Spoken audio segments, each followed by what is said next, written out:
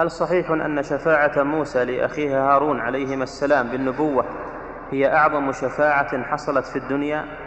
نعم يقولون إن ما أحد نفع أخاه مثل ما نفع موسى أخاه هارون حيث إنه شفع له حتى صار نبيا.